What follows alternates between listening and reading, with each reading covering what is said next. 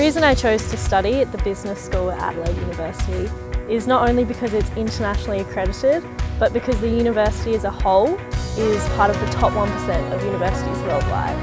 I chose to study at the University of Adelaide mainly because of its networking capabilities. The University of Adelaide has lots of partnerships with industry and definitely the student cohort as well. It's a very strong community.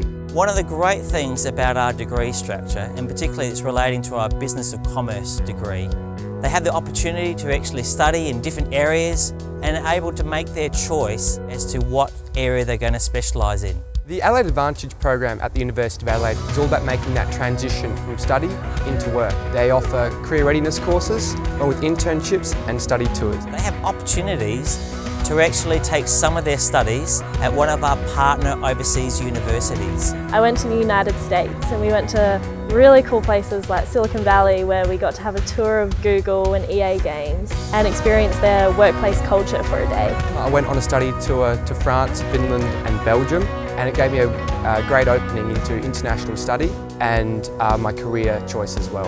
It is actually part of the, the group of eight, the GO8, which basically means it's part of the elite universities here in Australia. I've chosen to do a postgraduate study at the University of Adelaide to further differentiate myself in a competitive labour market and open up opportunities on an international scale. My degree is fantastic in the way that it will allow me to move internationally and my degree will be accredited everywhere. Never before has there been so many choices available to prospective students wanting to study a business degree.